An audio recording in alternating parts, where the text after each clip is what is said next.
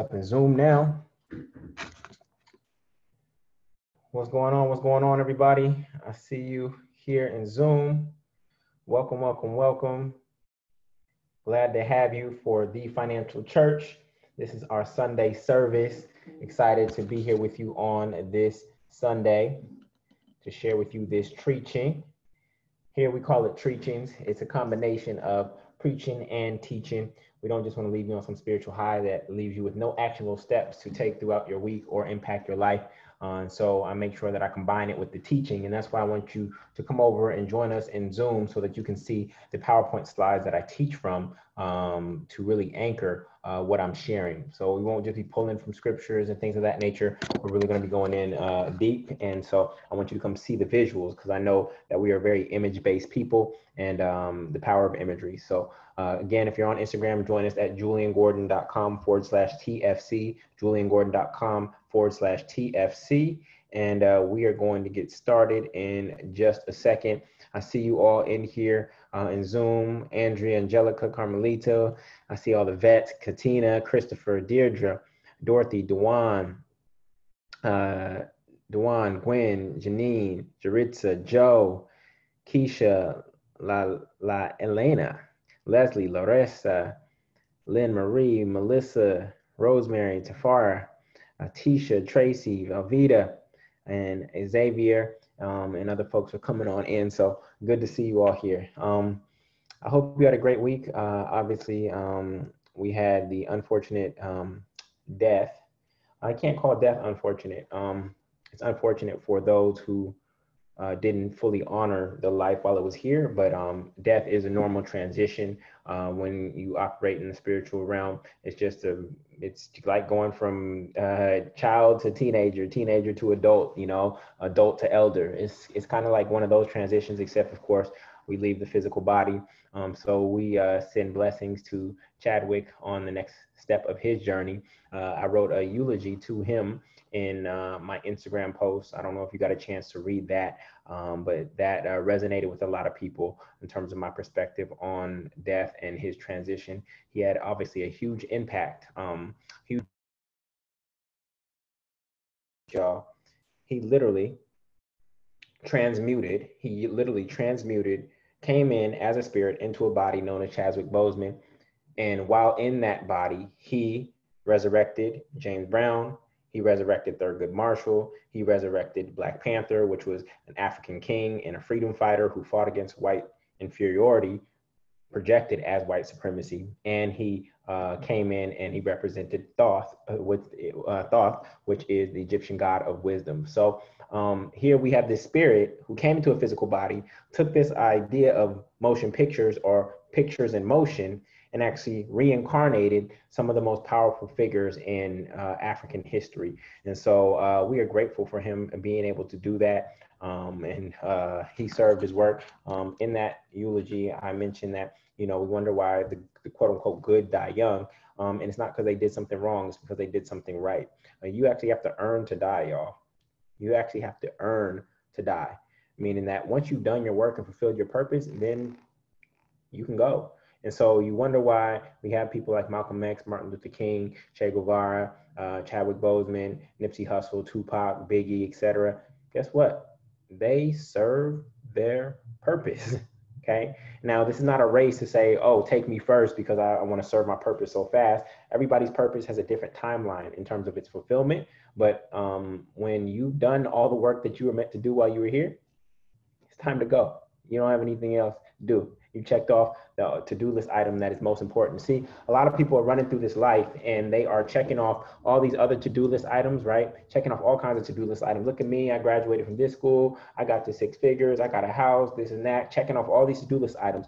But if you come through life and you check off every to-do list item, but you fail to check off the one thing that you were created to do, which is walking your purpose, then it's all for naught in fact, you will never actually be fulfilled just checking off all these other to-do list items when you fail to check off and do the one thing that you were created to do. All right. So um, that's what we want to get focused on. For me, this is why financial spirituality is so important because one of the number one blockages for people is this infatuation with money. It's this infatuation and giving so much thought, energy, and power to money, so much so that we have even put on the dollar bill, in God we trust. Now, of course, we perceive that here in Financial Church um, as an affirmation. In God we trust, we release the money, and then when it comes back to us in returns, we say, In God we trusted. Um, but we've even deified money. And um, that is out of alignment. Um, that is financial sin because we know who and what the true source of our supply is, and that is the creator. Whether there's money here on earth or in your pants or in your pocket or in your bank account, you still have a source of supply that is more infinite, abundant, and powerful than money. That we don't use the language almighty dollar here. We do not use the language almighty dollar. There is no power in that dollar except the power that we give it when we transmute that energy into ideals, ideas, individuals, and institutions that we believe in. Okay. Otherwise, it is no worth no more than this posted. That dollar bill is actually worth no more than this posted until we actually transmute that energy and use it. It is useless until you use it. Okay. It is useless until you use it. All right. So this is our awareness, and we have a different relationship, or we are cultivating a different relationship to money um, in this teaching. And so I'm so glad to have you here uh, to experience this. All right. So um, with that, uh, I'm going to share my slides. I was I was ready to go in, y'all.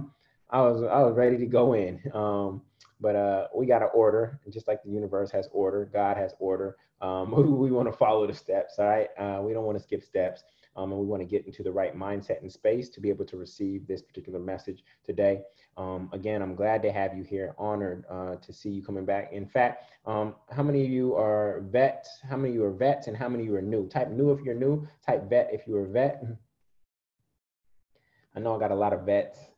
Know, my true uh, I don't call you followers. You're not followers. You are partners. You are um, on this journey with me. Um, we're not we're not followers in this play in this way, and I learn from you all as well. So, um, oh, we got a lot of new folks: Katina, Samsung's Galaxy phone, Marlena. Good, good, good. And then I got some multifamily movement um, members here as well. So this is good. Multifamily movement members, they're getting it on both sides. They're getting it from the heaven, which is what our mental experience, and then earth, which is our material experience. So when we hear the language on earth as it is in heaven, when we hear the language on earth as it is in heaven, what that is saying is that whatever we have in our mental experience, right? We also want that to manifest in our material experience. That's when we know that we've actually fully embraced it and fully believe it. How many of you have uh, ever experienced or been in a mental hell, though everything around you might have been heavenly? Everything around you looked perfect on the outside, but you were in a mental hell, right? Or you've been in a mental heaven while everything around you was actually in, in an earthly hell, right? For a lot of people, the coronavirus and the pandemic, um, not for a lot of people, for people like us, we were able to stay in a heaven state mentally even though the external experience that most people were having was one that seemed hellish, Armageddon like, right? The end of the world, etc. So um, we are trying to align those two. We are trying to align those two. When those two are aligned, we are actually walking in the kingdom of heaven, okay? Heaven being this ethereal, intangible, unseen, immaterial thing, and a kingdom being actually a physical thing. When those two things are aligned, when it is done on earth as it is in heaven, which is all of our work, which is to bring heaven on earth. Whatever you believe and think of in your mind that you think will bring greater good and more bring more good and more God into the world, when that is aligned and that is happening, you are actually in the kingdom. You're in the kingdom. That's why Jesus said it's neither here nor there, it is in your midst. Okay, when those two things are aligned. So all of our work is to bring heaven on earth. When we look at Chadwick, we saw him do that in his art you know, this is a man who never dressed up. This is a black man, an actor who never got into a dress, okay? Who never got into a dress. You know, Hollywood has tried to, or actually what I call it is unholywood. Unholywood has this infatuation with putting black men in dress on screen. He didn't do that, okay? He knew who he was and what his purpose was, and there was no time to F around right? And so he only took roles that dignified him and his people, okay? So be mindful when you're watching movies from Unholywood, because that is typically a, a particular group of people who are trying to control and shape perception of reality.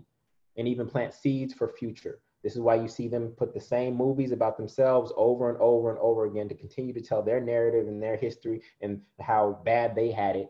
And as a result of their fear based uh, consciousness, um, they feel like they have to control perception, even so much as so as having, as, even so much so as having a whole organization to prevent other people from talking bad about them. Why would you care if somebody else is talking bad about you if you know who you are? Why does it matter? So we have to be mindful of what where we are. We know that uh, we know who the true children of Israel are um, if we do our study and our, do our own research, and um, and we need to walk in that understanding because when you know who you are and whose you are, uh, you walk more dignified and you walk with more power. But our legacy has been stolen in many ways, and um, we are here to reclaim it. Okay. So with that, let's continue moving forward. Um, today we are doing our monthly accounting our monthly accounting ritual. We do this on the closest Sunday to the first of the month. And this is a ritual that we do to make sure that we are being the best stewards as possible of our economic resource that is coming to us and through us. Remember, the goal of this game is not to have the most money. The per- richest person and the wealthiest person is not the person who dies with the most money in their name. That is not the name of the game. Okay. So when I think about it, what we say or what I say is the buck does not stop here. You know, a lot of people say the buck stops here as if it's a good thing. My creator knows that the buck does not stop here. When economic resource, cash, currency flows to me and through me, it knows that I'm going to channel that energy, this money, money just being stored energy, okay? Money is just stored energy. It knows that I'm going to use that stored energy and transmute it into other ideals, idea, good ideals, uh, ideas, individuals, and institutions that I believe are doing good or God's work in the world, okay? So um, the wealthiest person is the person who circulates the most money, not the person who has the most money in their possession when they die, but it's the person who circulates the most money okay? The most currency. And, it, and it's not just money okay? There's other types of currency. We have our personal capital our intellectual capital our social capital our uh, financial capital. We have physical capital. We have human capital. There's all types of currencies that exist right and the wealthiest person is the one who circulates it the most not the one who has the most at the end of the day. When you are holding on or hoarding money um, that is actually a financial sin. That's one of the greatest financial sins. Saving money beyond your emergency fund is financial sin. Saving money beyond your emergency fund is one of the greatest financial sins. Okay, because typically we only save money because we are fear based. Yes, you should cover your downside in case something just ish hits the fan. Okay, you don't want to be uh, well. Jesus, Jesus wouldn't have saved anything. And in fact, he told his disciples, "Just leave everything, take your clothes and sandals, and let's go get this." Right? Because he was fully tapped into abundant bank. He had the longest line of credit that ever existed, or he was aware. We actually have the same. We all have access to the same line of credit, right? To abundant bank. If my father is the uh, founder of abundant bank and I'm his son, then I can go in there and get a loan or get whatever I need whenever I need it.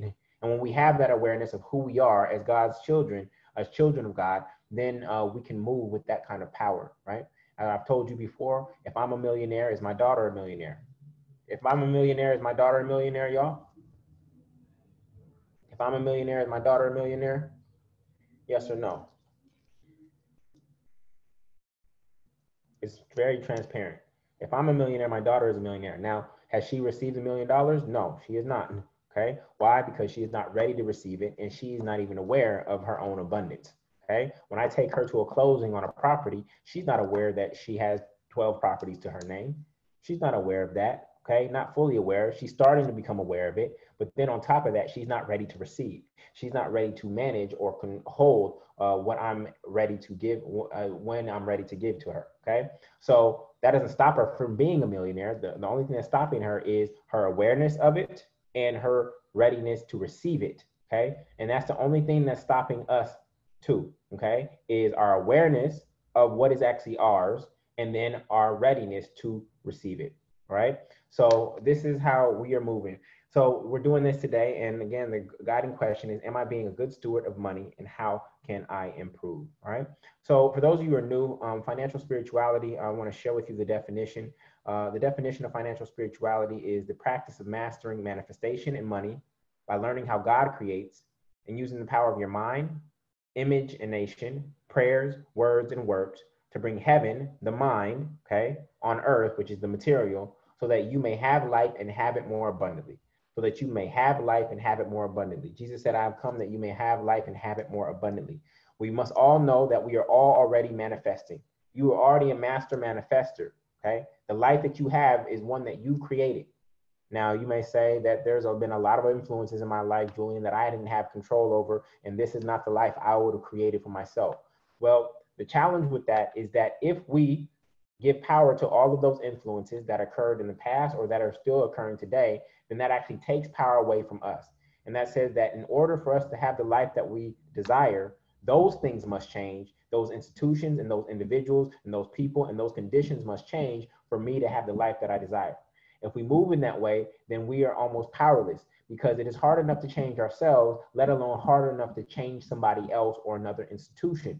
So even if it is true that you have been impacted by outside forces that have co-created your life or influenced your life to be what it is today, it serves us in no way to actually blame or give power to those things. And it is actually best for us to accept full responsibility, 100% responsibility for the life that we are living. When we do that, then we can step into our power and we can be co-creators alongside the mother, father, God. Okay. So we all are master manifestors already. The question is, is are we deliberately creating the life that we want? Are we being deliberate creators? And have we created the experience that we desire? Okay. This is what we must be aware of. And again, we must accept 100% responsibility. Not saying that there aren't other influences, to the extent that we give those influences power, uh, it actually takes power away from us. Like for instance, if we use poverty as a reason for why we're not, I grew up in poverty, okay? How many of you grew up in poverty? Okay? How many grew up in poverty? Let me know. How many grew up in poverty? Hmm. Okay. I guess uh, a few people, few people. So hear this what tends to happen is we um, when we grow up in poverty uh, when we grow, we grow up in poverty we see poverty around us and therefore we say i am poor okay? But that is not the truth okay? The reality is that poverty is an external condition but when we actually turn it into the language i am poor we are now accepting it as an internal identity okay but if you know who you truly are, if you know that you are a child of God, the most infinite and abundant source and supply in the entire world and universe, then your identity, that identity as child of God, never changes, even if your external circumstances do not reflect it. So you can actually be wealthy in the midst of poverty as the conditions that you were seeing with your two eyes. And what that puts you in position to do is now demonstrate how wealthy you are by now starting off in poverty. You have the opportunity to demonstrate how wealthy you truly are, right? By starting off in the condition of poverty. Someone who starts off in the condition of wealth can't actually really demonstrate how wealthy they really are because a lot of their wealth was they were born into that wealth. For those of you who were born into poverty, you actually are in a position to be better demonstrators of how wealthy you actually are. Does that make sense, y'all? Does that make sense? Okay. Each generation is supposed to take it to the next and next and next level. We are elevating in consciousness. We are like, so life does repeat itself, but it's like a DNA. DNA is this double helix, right? And it's circular. But the thing is, is that this helix goes up and up and up. So life does happen in cycles, but it's cycling upward as we all ascend. Remember, we do not want descendants. Descendants implies that it starts with us and everything else goes downhill from there. And the way the story of Adam and Eve is told is that started with these two individuals and then it was just downhill from there. Okay, that's not how we operate. That's not how we think about. That's not how I think about um, how God wants us to be. Instead, we are seeking to create ascendants. So it starts from here, and then with each generation, you're ascending. When you draw out a family tree, you start with the base as far as you can go back, and then the tree goes up and up and up towards what? Towards the sun, towards the light. Okay, it is reaching higher and higher and higher towards the light. And so we are seeking to have ascendants, not descendants. Okay, descending is down, ascending is up. All right. So um, here uh, I rely heavily on uh, the Bible um, as the foundational text, but I source many different texts. But I do believe that this is one of the richest books on the face of the earth. It has stood the test of time. And when you are able to look at it and read it with your third eye, you're able to see things in it that um, on the surface you cannot see. It's kind of like a seven layer dip. When you have a seven layer dip, you do not just take off the first layer. But many people read this text and they only look at the first layer. A lot of people look at it and they read the book literally. This book is full of allegories and stories and hidden meanings. And it's only your third eye and intuition that can actually see those things. If a lot of people say, oh, the Bible's literal, it's fact, and this and that. Well, my question to them is then why haven't you cut off your right hand? Why haven't you gouged out your eye if you're supposed to be taking this book literal? Okay, so you have to be very mindful and try to be aware of when the Bible is actually historical and it's more factual and when it's more allegorical. Okay, you have to be able to use uh, ask for guidance. Don't ask me. Don't even ask anybody outside of yourself. Ask inwardly and say, is this is this God? Is this being historical right now, or is this being allegorical? A lot of the Old Testament is historical, okay, um, but there's a lot of allegory hidden in there. And then um, and then the New Testament, uh, it's especially the Gospels, it's very allegorical. Jesus rarely ever spoke in just plain direct fact. Okay, rarely spoken that. I'll give you an example in the Old Testament. I'll give you an example, example in the whole Old Testament. Um, when you think of the parting of the Red Sea, what do you think is the deeper meaning of the parting of the Red Sea, y'all? What do you think is the deeper meaning of the parting of the Red Sea? you think the Red Sea or the Reed Sea really just parted open like that? You think that's what happened? On a woman's body, where's the Red Sea, y'all? On a woman's body, where, where's the Red Sea? Go ahead and type it. It's okay. Where's the Red Sea on a woman's body, y'all? Huh? It's her vagina. the parting of the Red Sea is the opening of the woman's vagina or uterus in order to give birth to a new people. It's the opening of a woman's birthing system and canal in order to give birth to a new people, y'all. You have to be very, very careful. And the writers were so good, or I don't want to call them the writers. They were more so instruments and vessels that were getting these divine downloads, and they got them through onto paper this book is written so magically um, that it can only be divine intervention that created this text in my in my mind. Do I do do I believe that it's been remixed and adulterated by men? Yes, I do believe that that is so, especially with the Nicene Conference. Okay, they started taking out books and scriptures and changing words and things of that nature. But I do believe that this book in general is divinely inspired, and even with the remixing of it, I I, I believe that you can still see the truth that is in there. Okay, so uh, I also believe that Jesus is perhaps one of the richest, uh, not perhaps the richest man to ever walk the face of this earth. But of course, he didn't uh, store material wealth because he was so in tune with who he was that he didn't need to store any material wealth. If he wanted to, he could have had all the kingdoms. He could have manifested gold. He could have been an alchemist uh, if he wanted to. Obviously, he was manifesting bread, right, by the thousands and loaves uh, and fish instantaneously. Why do I need to carry around a wallet or money or gold or talents, which we know talents weigh a whole bunch? Okay. You know, the parable of the talents, we know that ta- we did that study and we know that pa- talents weigh like, I think 60 pounds. Why do I need to carry around these talents when I can manifest on demand? This is ultimately where we all want to be in our uh, our oneness with the Mother, Father, God. Okay. So some beliefs that we have here, uh, or that I have, okay? I just, for those of you who are new, I want you to be fully aware that I'm not trying to convince you to believe uh, or believe what I believe. I encourage you to go do the work yourself um, and see what resonates with you, okay, inside. I'm not encouraging you to believe me. I'm not trying to persuade you. This is my belief system that has allowed me to manifest at the level that I've been able to manifest. And all I'm doing is sharing it with you. You can take what, what benefits you and leave what does not. You can take what resonates with you and leave what is not. But I know for a fact there will likely be at least one thing that you hear today that will resonate with you, that will move you an inch closer towards wealth consciousness from poverty consciousness. That is the whole goal of this ministry is to move from poverty consciousness to wealth consciousness. And we are doing that week by week by week, day by day by day.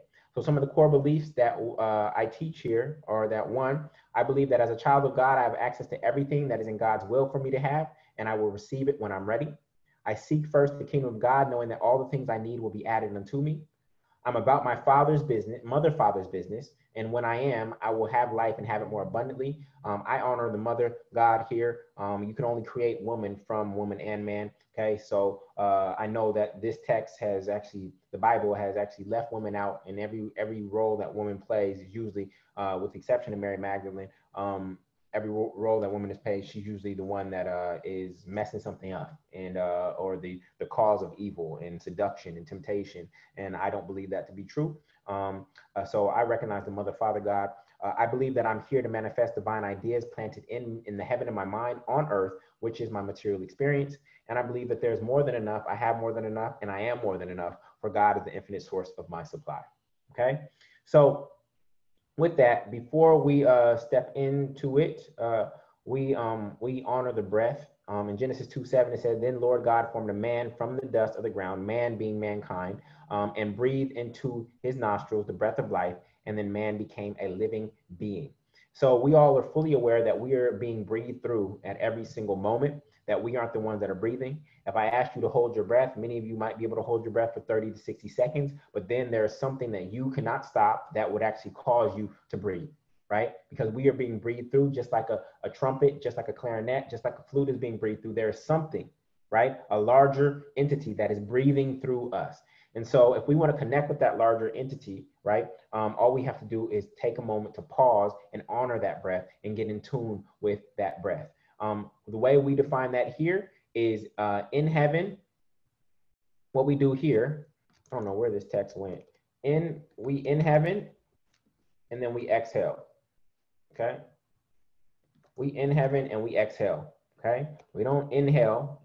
No, we are bringing heaven in. Okay. And we are exhaling.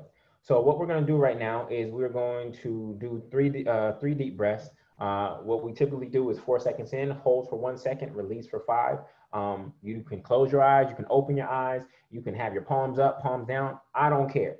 All I'm inviting you to do for the next 30 seconds is to join us and do whatever you do best to get in tune with your creator. If that means you doing a headstand, if that means you getting on your knees and praying, whatever it is for you, I want you to get in touch so that um, your mind can be open and you ask for uh, divine listening as we go through today's teaching. All right. So I'm going to initiate the breathing and we'll go from there.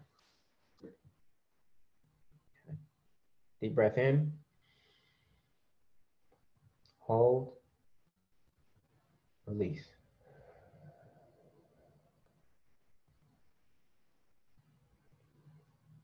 Deep breath in. Hold. Release.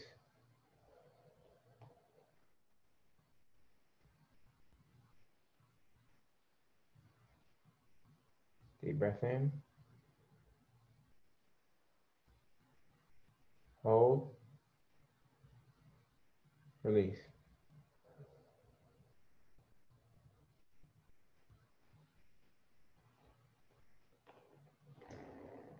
All right. So with the exception of those who have asthma and those who might be experiencing coronavirus, which is a respiratory disease, okay, um, most of us don't think about when our next breath is going to come. We trust that the Mother, Father, God is going to provide that next breath for us. How many you worried about oxygen today? How many you worried about oxygen today? Anybody in here worry about oxygen today? Like they wake woke up and was like, I wonder if there's gonna be enough oxygen out there for me to breathe today. No. Okay. So hear this, y'all. Wealth consciousness is when you relate to money in the same way you relate to air. True wealth consciousness is when you relate to money in the same way that you relate to air. You know that the Mother, Father, God is going to provide for you what you need when you need it. It is a high calling. It is not an easy place to get to. Actually, it is easy to get to, but we put all kinds of blockages in the way. Jullien, what about this? All kinds of fear, doubt, and worry come in between reaching that level of consciousness. This is what we all are aspiring to do. I won't even say that I'm there yet. Okay. I'm getting very close to being there. Um, but uh, I still have my own stuff. Okay.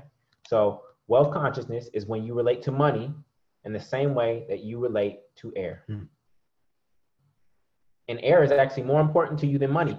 Air is more valuable to money. So you can trust it for air, but why can't we trust it for money? We can trust God for oxygen every single day without worry.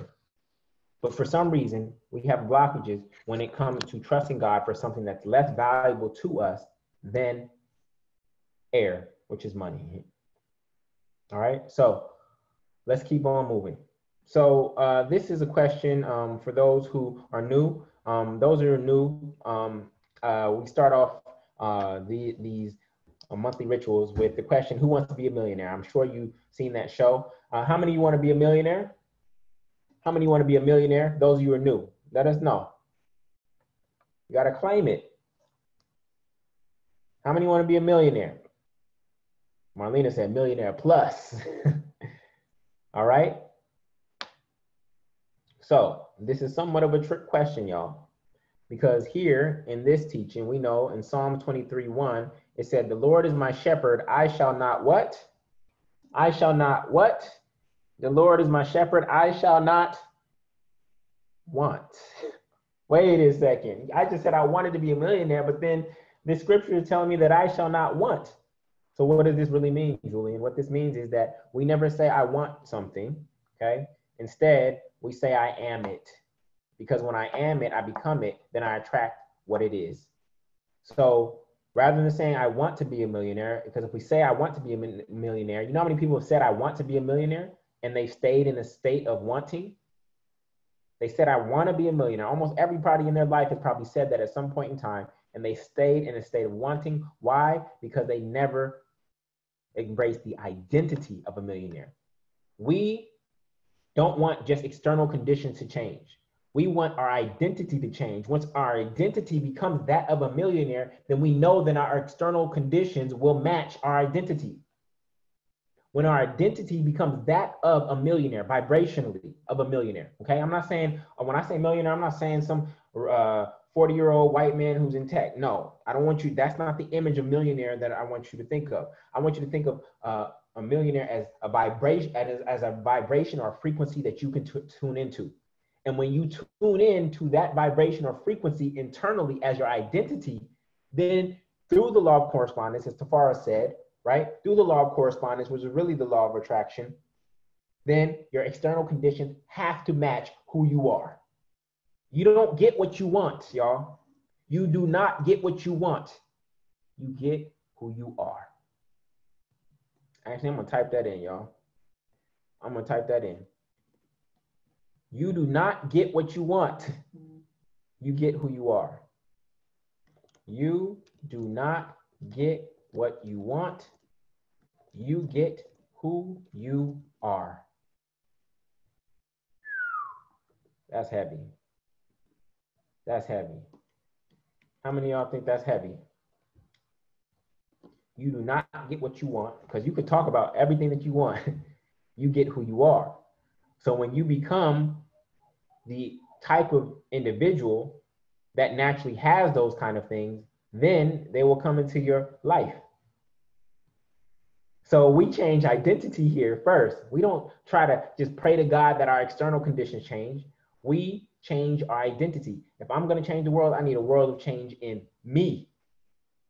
If I want my world to change, I need a world of change in me. I don't need the president to change. I don't need my mama to change. I don't need my significant other to change. I don't need my children to change. I don't need my boss to change. I don't need my employer to change. I don't need my city to change. I don't need anything outside of myself to change.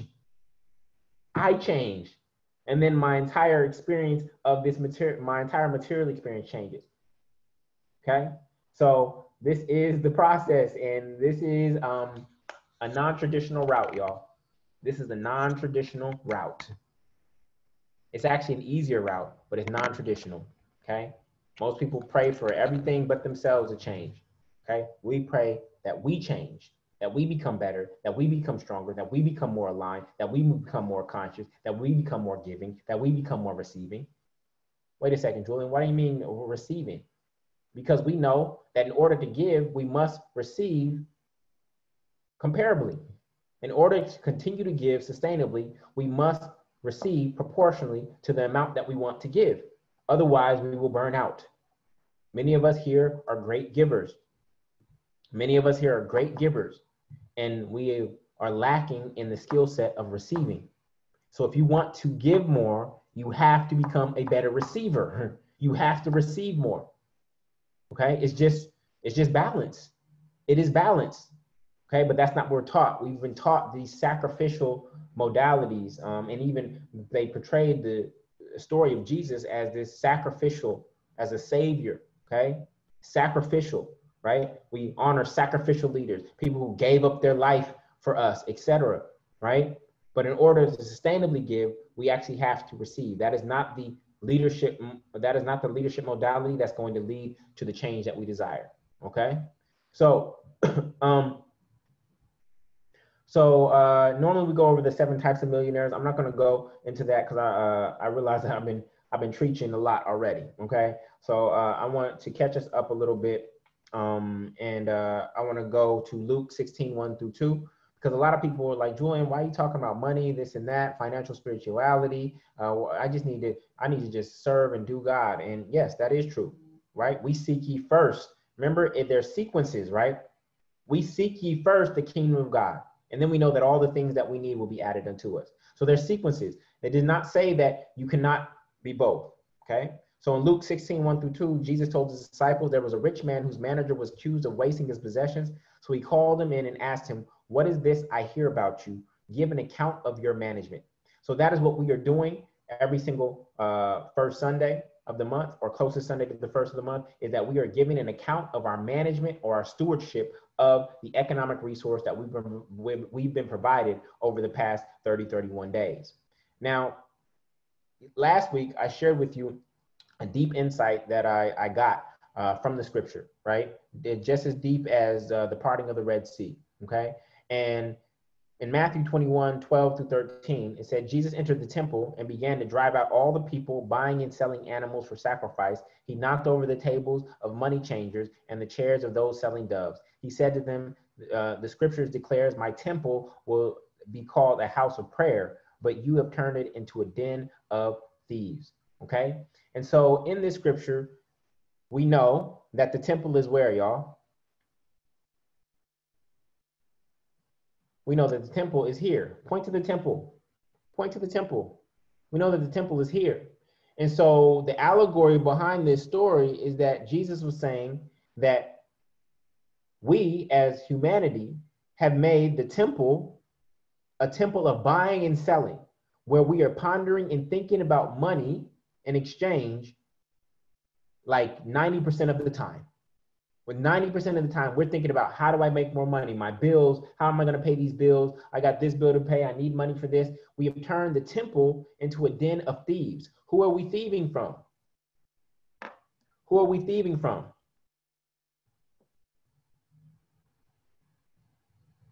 Who are we thieving from? We are taking our thought energy away from God. If you trusted God, you'd have more than enough that you need. If you seek ye first the kingdom of God, then all those things will be provided unto you. And Jesus said this, um, you know, the birds and the, the lilies, they don't toil. They don't worry about what they're going to wear, what they're going to eat. They don't toil over those things. Only we as human beings toil over the things that the Father, Mother, God knows that we need. Only we do that. Okay? And so this is really about relieving the temple, right? And this is why Jesus was angry because we as humanity were putting money and our needs, our earthly needs being met before God. Before God. And so this temple is supposed to be a temple uh, and a house of prayer, right? Temple and house synonymous. This is supposed to be a house of prayer, right? Prayer being an inner conversation, a dialogue between you and God, not God up in the sky. When I'm doing this, I'm talking about you and the highest you, right? You as this ego connected to who, this ego that feels separate, connected to God, right? You being the lowercase g, God, connected to the larger capital uh, uh, uppercase G, God. Okay, so there's God, the OG, the real OG, Okay, then there's you, the little g. And for those of you who are like, you calling me a God? Yeah, I'm calling you a God. Jesus said in John 10 34, go look it up. Is it not written in your law? I've said ye are gods. Jesus said this. Now you're not to hear that on a Sunday. Nobody to preach that on a Sunday. Okay, not when they're using religion to try to keep you uh, out of relationship with God. They want you to come through them in order to get to your mother, father, God. I'm the oldest sibling, and guess what, y'all? My little brothers do not have to go through me to get to my mother or father. My younger brothers do not have to go through me to get to my mother and father. They can go directly to the mother and father themselves. As above, so below, y'all. As above, so below. You don't have to go through anybody or any institution to talk to your creator. Here, I am focused more on my relationship than the religion. Now, if there's a religion that actually supports my relationship, then I'm all for it. But if in any instance that religion actually takes away from my relationship to the source, it's blocking me and says I can't go this route, I can't talk to my mother, father, God when I want to, I got to do it this way. Deuces. Deuces. Remember this, y'all. God is not Christian. The Bible is not Christian. And Jesus was not Christian. So if we are trying to walk like our my older brother, who was a real OG, Jesus, one of the best to ever do it, then we want to move and operate off the same principles. Okay? Jesus didn't baptize. We talked about that. Jesus didn't baptize, not with water. Okay?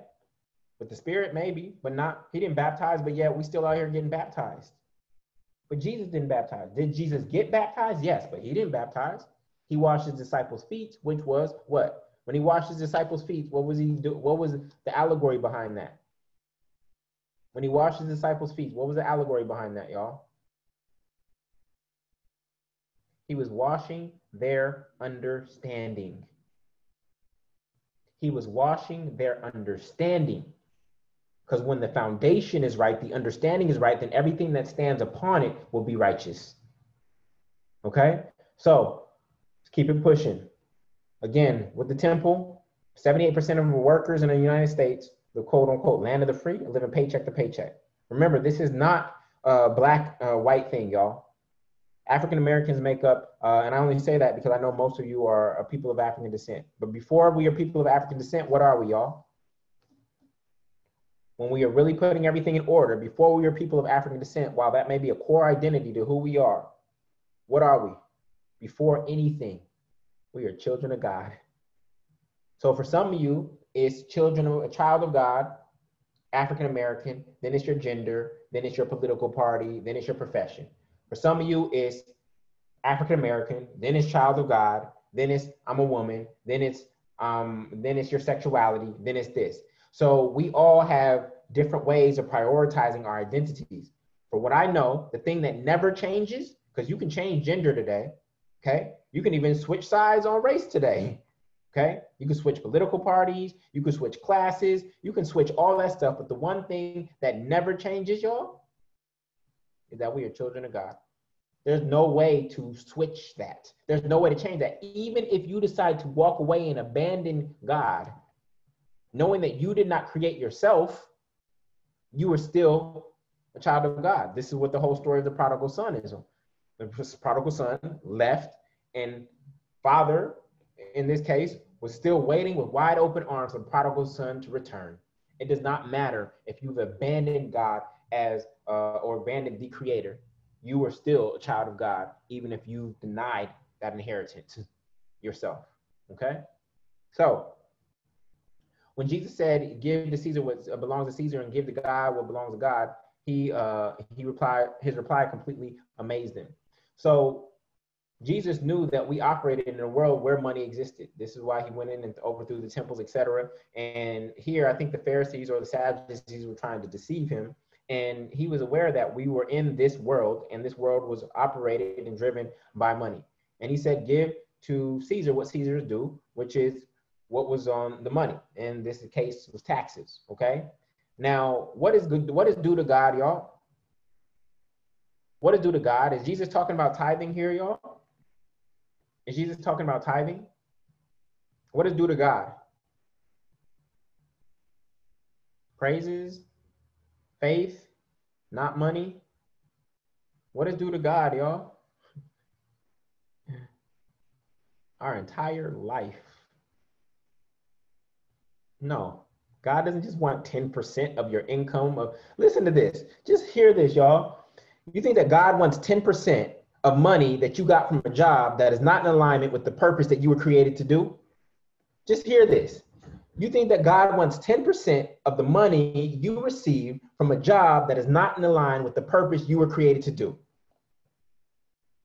You think that's what God wants? Like, come on, y'all.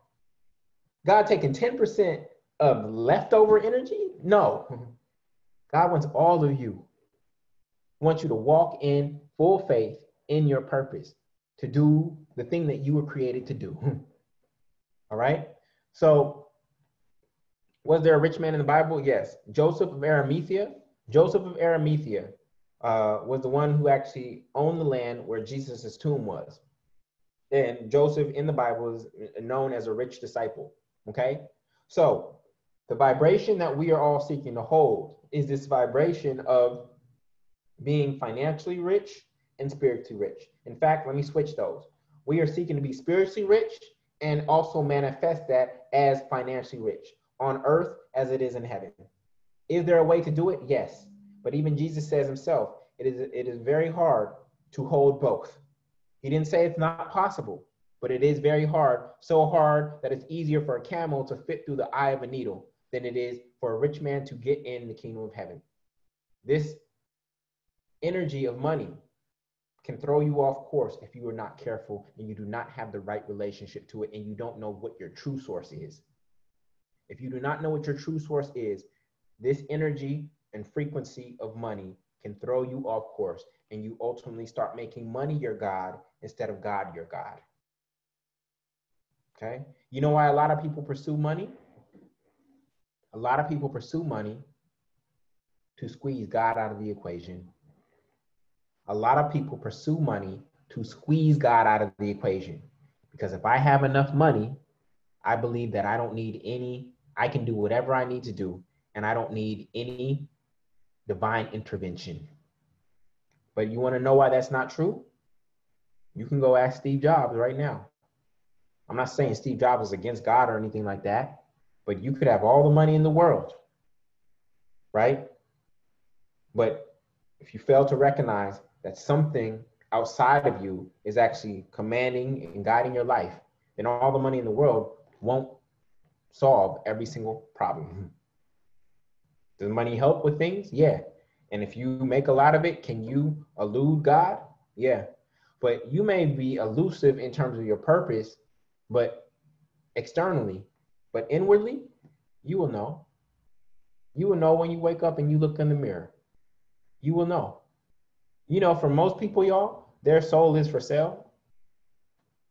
Most people's soul is for sale, y'all people like, oh, I never sell my soul. Most people's soul are for sale.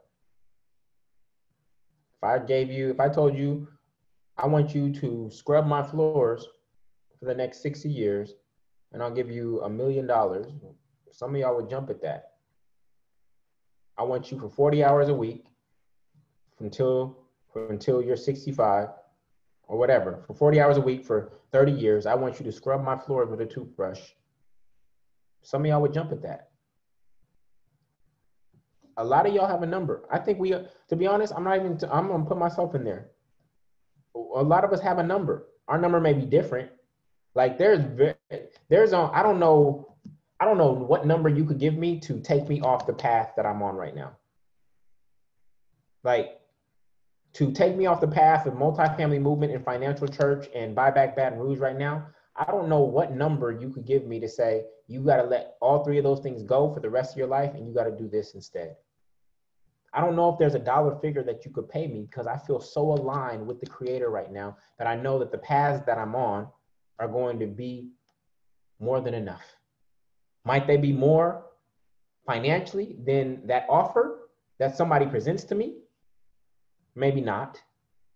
But the richness the true treasure that I get from walking these paths, I don't know where else I would find that. I don't know where else I would find that. So beware of your number. And uh, if you do have a number, just make sure it's high. Just make sure it is really high. Because um, that is a costly price to pay. Ultimately, we don't want to have a number. You want to get to a mindset where you can't be bought, where your soul cannot be bought. All right. So we are here this Sunday, as Proverbs 46 through 10 says, to be still and know that I am God. When we yield, yield, the definition of yield is to stop, pause, or surrender. Okay. But the second definition of yield is to increase, right? As in increase our yield, our production, our fruit. So this is what we are doing every Sunday, uh, every fourth Sunday, is we stop and we we yield, right, so that we can yield. Okay, so when we do this, when we observe our finances and our stewardship, we want to be reminded of two things: not to judge ourselves. Okay, we already got enough people judging us. We don't need to judge ourselves. Okay, and not to focus on the past because we have no power over the past. The only thing that we can do is plant new seeds today. So a lot of people have financial shame. They look at their credit score, they look at their bank account, they see how long they work, they see how much rent they're paying, they see uh, stuff that they spent money on that they don't use anymore, um, etc. And there's a lot of financial shame. Holding on to that shame does not serve us. It does not. It will only make it harder for us to step into the future. And then we cannot focus on the past. So the reason we do this is to observe the fruits and results of our of our old thinking, okay? Then to see what is and seek ways to be better stewards of that which we've already been given, the leaks, the hoarding, and the new sources. Then to celebrate any growth that we've had, any growth, okay? And then to weed out anything that is restricting growth and prune to facilitate new growth. This is why we do this every single uh, fourth Sunday. All right. Now we know here in this space, we do not use the language of I am broke. Again, I am broke is an identity. Okay. I am broke is an identity. I have very little money is a condition.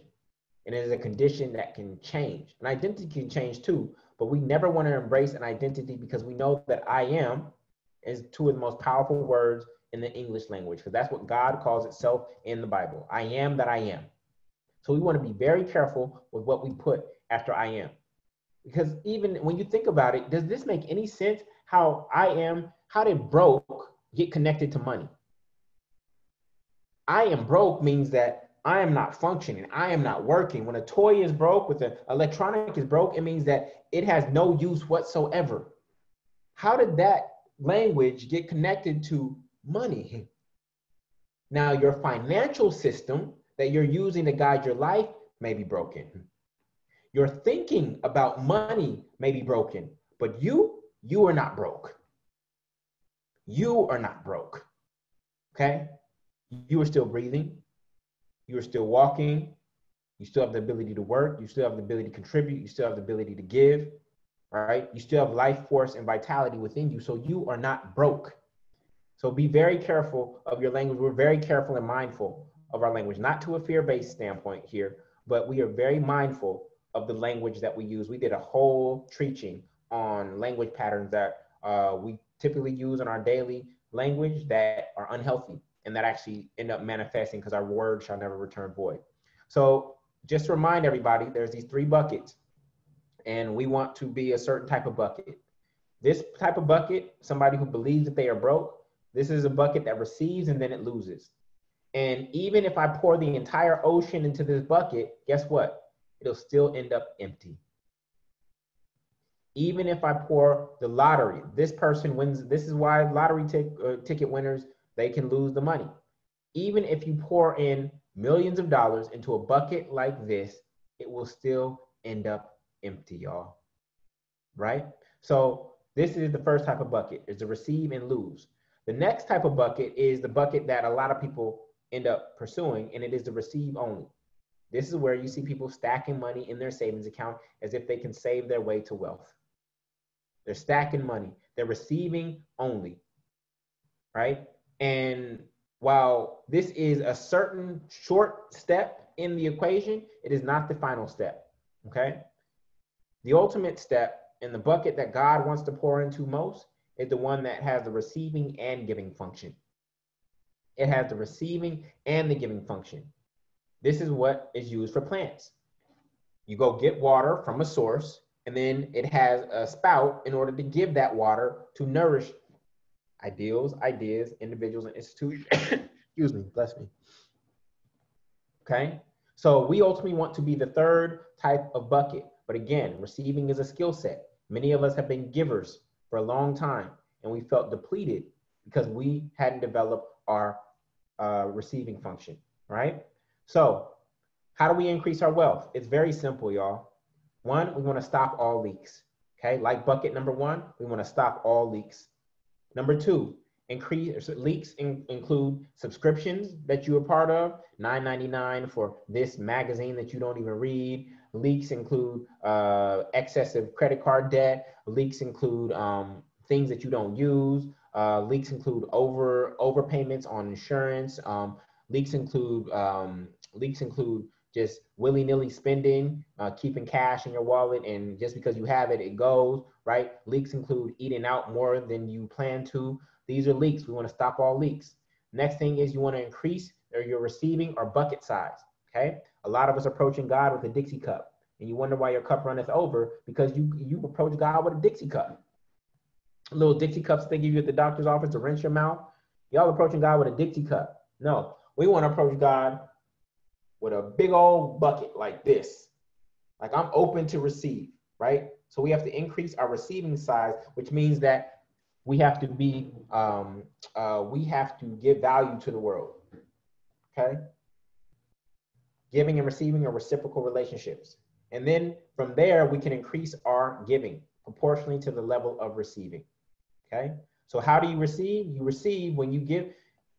I, I need to make this clear, y'all. You realize that people don't want money, y'all? Do you realize that people do not want money? This probably sounds ludicrous. People do not want money. People are readily and happily willing to give up their money if you give them something that is more valuable than the piece of paper. They know that money is just a piece of paper. People are giving away their money every single day. They're giving it to a restaurant because they don't want to cook and wash dishes or grocery shop that day. They're giving it to online stores because they want this piece of clothing that's going to go with their new shoes. They're giving it to Netflix. They're giving it to Amazon. They're giving it to the car dealership. They're giving it to colleges. People do not want money. People inherently know how worthless money is. And if you can provide something to people that is more valuable to them than those worthless pieces of paper, they will happily give it to you. Now, of course, when we receive it, we actually don't hold on to it as if uh, now we want money. No, we go immediately take that stored energy and we actually transmute it into ideals, ideas, individuals, and institutions that we believe in. But people do not want money, y'all. People do not want money. Look, y'all, if it's the end of the earth and I have um and I have uh I have 500 gallons of wa- water and you got a million dollars, how much am I going to charge you for that uh, for a gallon of water? If I have 500 gallons of water and you have a million dollars, how much am I going to charge you? It's a little bit of a trick question. One, there's no dollar amount that you could give me that would ever satisfy the need for water. Water is the first thing that we need. It is more valuable than your million dollars. One gallon is more valuable than your million dollars. Because if I just sit here with my 500, 500 gallons, you got your million dollars, who's going who's to last the longest?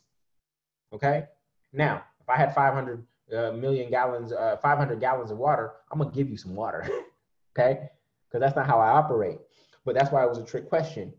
But this is just this is hard for people to understand is that people actually don't want money.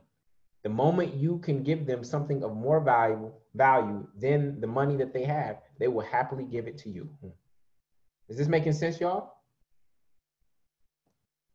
Is this making sense? All right.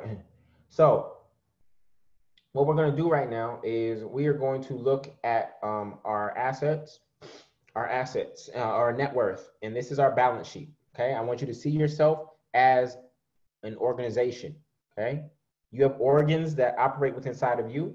You are an organ within a larger body of God, in the celestial body. You are an organ. And so I want you to see yourself as an organization. And every organization, every life giving thing um, has its own balance sheet. So when we talk about work life balance and balance is core. And in any good business, assets have to, should be greater than liabilities. This actually dictates your net worth. All right. So, um, what uh what I'm gonna encourage all of you who are new to do is to go to if you're on Instagram, uh, go to julliengordon.com forward slash accounting. julliengordon.com forward slash accounting. You'll likely need a computer for this. You'll need a computer for this, y'all. All right. This is a spreadsheet. This is a spreadsheet that I give to you all to go through this monthly accounting process that we do. Okay. So what you'll do is you'll click File, Download, and then make a copy. Do not request access. You'll click File, Download, make a copy, and then uh, you can make a copy to your Google Drive or you can download it as an XLS, XLSX file, I think. Okay. For those of you who are veterans, you should already have this. You should have done it the month before and the month before that, and yours should start building up. Okay. I need you to, mm, I need you to uh, take some time. I'm gonna give, I'm gonna hold space for you for three minutes to begin this process. You, we will not be able to finish this. This takes me about 45 minutes on the first of every month. I did mine today, actually. Instead of uh, on Tuesday, I did mine today. It takes me about 45 minutes to log into all of my accounts, my all my checkings accounts, all my savings accounts, all my money market accounts, stock market accounts. For uh, I don't have a 401k, but any other type of accounts that I have, PayPal, Cash App, Venmo. Okay. Then all of my mortgages. Okay. Then go to Truliant and Zillow for the net worth of all, for the current market value of all my properties, and I know that's not exact. Okay. All my credit cards, all my business accounts. Right. I go in, and I copy those numbers and I put them into this spreadsheet. Okay, takes me about 45 minutes. All I'm asking you to do right now during this time is to do your liquid assets, your liquid assets. Okay, so that's going to be your checking account, all your checking accounts, however many you have, your 401k, your stocks, Cash App, Venmos.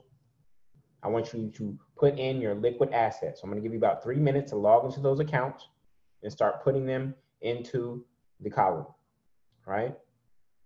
After this, I encourage you to continue forward and start doing your liabilities, student loans, car loans, mortgages, rental property mortgages, medical bills, etc. Anything that you have installment payments on, any personal people that you owe, I encourage you to do that after. All I'm asking you to do right now is liquid assets. So that's basic checking, savings, 401k, stocks, etc. All right?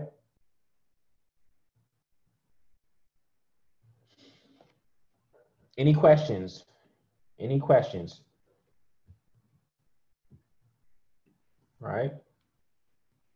So again, after this, you will stay uh, keep this document open. And before the end of the night, you'll add in your live, your long-term assets, which is home value, okay? For a lot of folks, they don't have any long-term assets, and that's what's sad, right?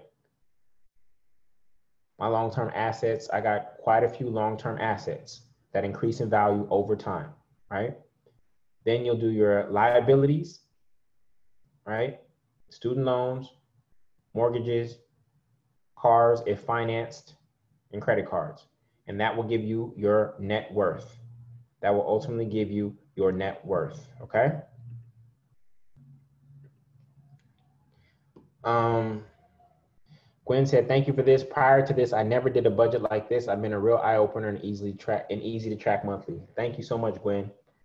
Uh, I want to honor Gwen. Gwen is consistently um, gave uh, in terms of We don't call it tithing here. You give what feels good for you. Um, and again, you're not giving to me. You're not giving to a building fund. You're not giving to my private jet. I receive nothing from this ministry. This ministry is something that I've chosen to do purely out of love, purely out of love.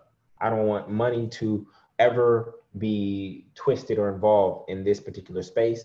Um, and so for those of you who are new, uh, we'll share that at the end. We give differently here, and uh, you'll hear about that. Um, but uh, I want to say thank you to Gwen for her consistency, her consistency. All right. Any other questions? Yeah, uh, Courtney mentioned some of you continuously skip this. Some of you continuously skip this. And I'm telling you, I've been doing this for at least six years now. I can go back and show you month by month by month how I got to where I am. Month by month by month, I can show you how I got to where I am in terms of my net worth. All right. This has been one of the most powerful rituals to me. This, why do you think I would take out an entire Sunday to make sure that you all do this if it was not important? I I don't we don't have time for fluff, y'all. I'm not just asking you to do this because it's cute.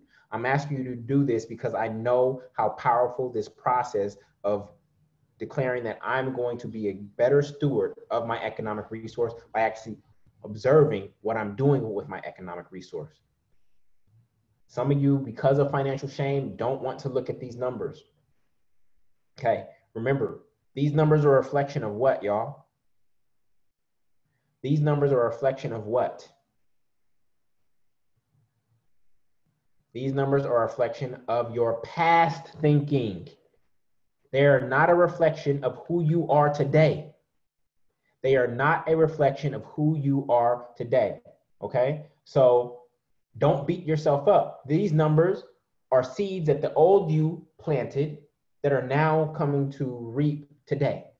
And so the reason you're here on Sunday at Financial Church is to plant new thought seeds so that one, two, three months from now, these numbers look differently because of the thought seeds that you planted today.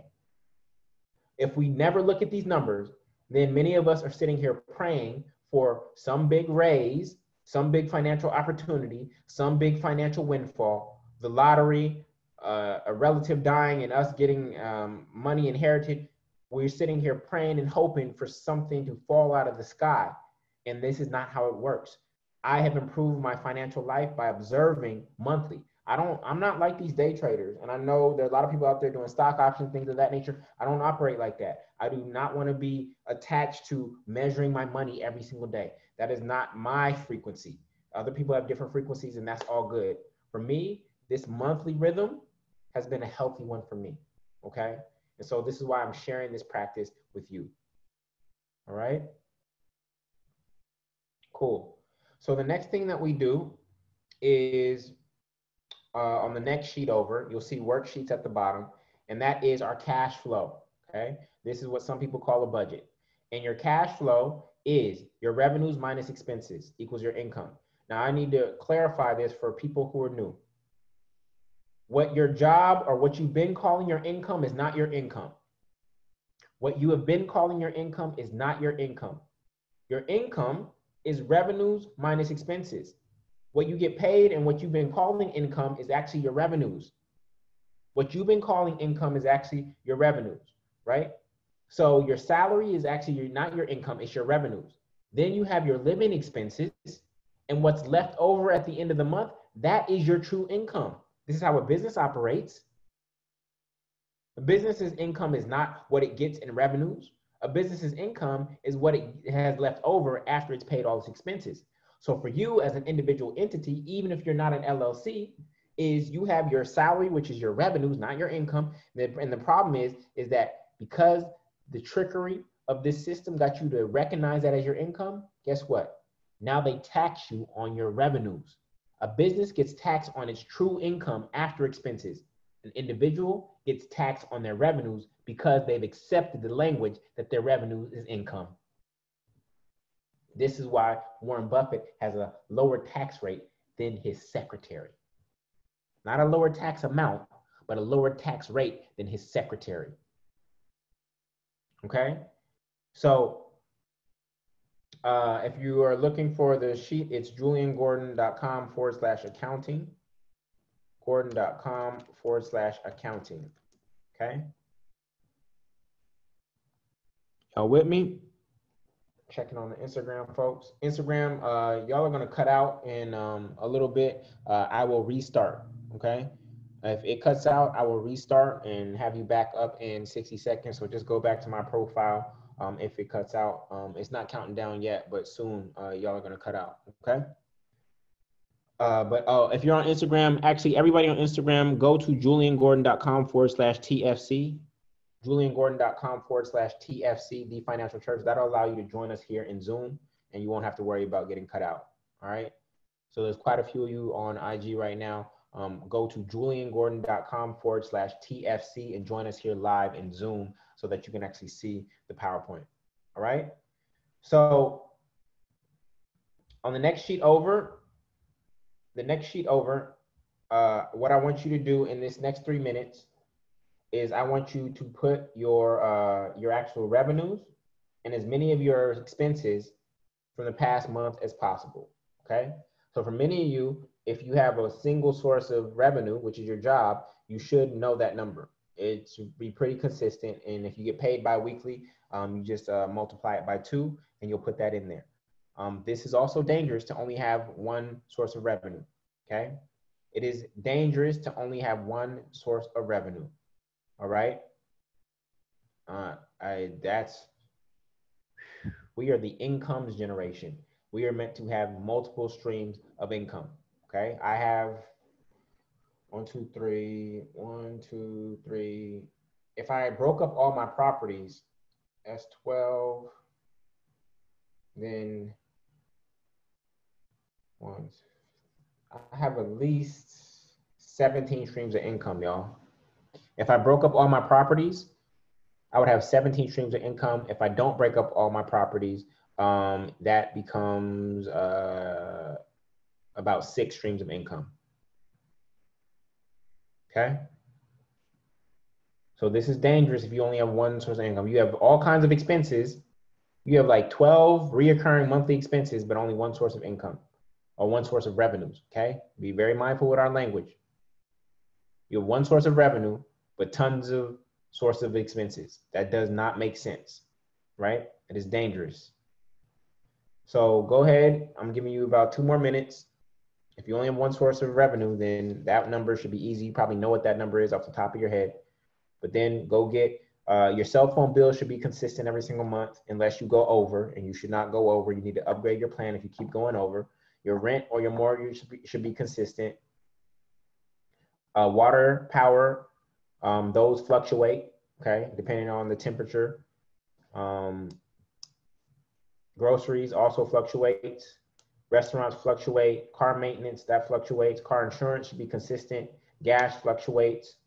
If you have a Metro card in New York, that's gonna be consistent, even though I think the price of that went up recently, right? So this will show you how much money you actually gained in income this past month. Some of you will realize that you worked for an entire 30 days, had expenses during that 30 days, and actually therefore made nothing. This is called the rat race. You worked for 30 days, brought in $4,000 after taxes and health insurance, etc. Your cost of living was $3,900. And so you worked for 30 days and all you gained was $100. That's sickening. That is sickening. Okay. So I need you to become aware of what is actually occurring so that we can actually make changes. The first step of Alcoholics Anonymous is to admit or affirm, or not affirm, or to admit and recognize that you are an alcoholic. All right.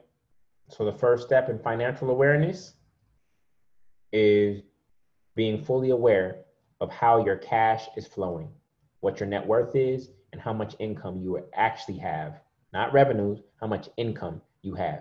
A lot of people have, the goal is to have more money at the end of the month, but a lot of people have more months at the end of the money. Okay, we don't want that. All right.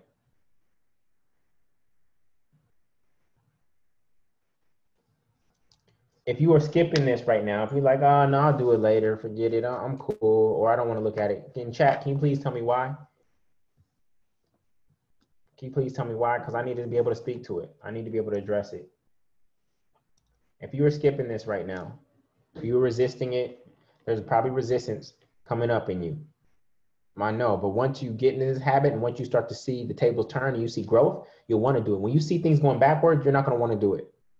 But when you start seeing the tables turning and you start to see growth, you're going to be excited to do it because you're going to see how much you actually grew. So Joe says he uses QuickBooks. Good. Uh, Cassie is doing this while driving. That's okay. Barbara's driving. Fatima, it's julliengordon.com forward slash accounting. Carmelita did hers earlier and she's driving now. Cool.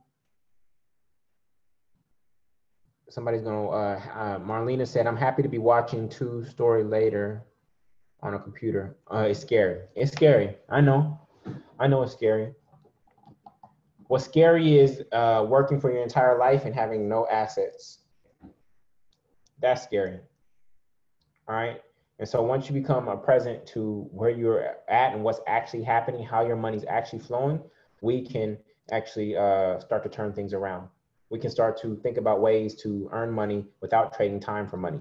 Okay? Because you realize, y'all, financial freedom is when your passive income is greater than your cost of living. When your passive income is greater than your cost of living. Do you all know that Debt free, being debt free does not mean you are financially free. How many of you knew that? How many knew that? Being debt free does not mean that you are financially free. I know a lot of you on the Dave Ramsey tip or whatnot. Debt free does not mean that you are financially free. Why doesn't it not mean that you're financially free? Why does debt free mean does not mean that you're financially free? Who knows?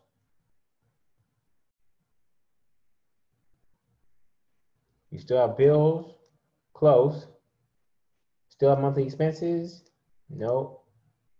Y'all close is because you still have no active, you still have no passive income.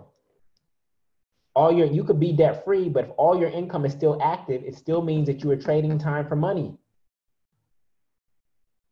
Financial freedom is when your passive income is greater than your cost of living, not your active income. There are a lot of people out there in the world whose active income is greater than their cost of living. That's great. That's a step forward. But financial freedom is when your passive income is greater than your cost of living. This is why you just being debt free does actually not mean that you are financially free. And what happens for a lot of people is that their cost, when their ink, when their salary goes up, what happens to their cost of living, y'all? When their salary goes up, what happens to their cost of living for a lot of people? Their cost of living goes up. Oh, I'm making a little bit more money. Yeah, I'm gonna take this extra vacation. I'm gonna buy these higher end shoes. I'm gonna go out to the restaurant on Friday and Saturday night. We're gonna do this. Oh, I can afford that now. And so now your salary has gone up, but your cost of living, your salary went up $10,000, but then your cost of living also went up. Now your salary went up $10,000. How much is that actually, y'all? Your salary went up $10,000. How much did it actually go up? How much of that are you receiving? You're receiving maybe seven of it, right? But now you say, oh, because my salary went up, now I can go on that vacation. Now I can go uh, buy these shoes, etc. And now your expenses have gone up by 8,000. So you actually gone backwards. You running harder, you running harder, but making less progress. You are running harder, but making less progress because of the perception that you you making more because you're focused on revenues and not income. You hear these businesses out here saying, oh, yeah, uh, he or she has a million dollar business.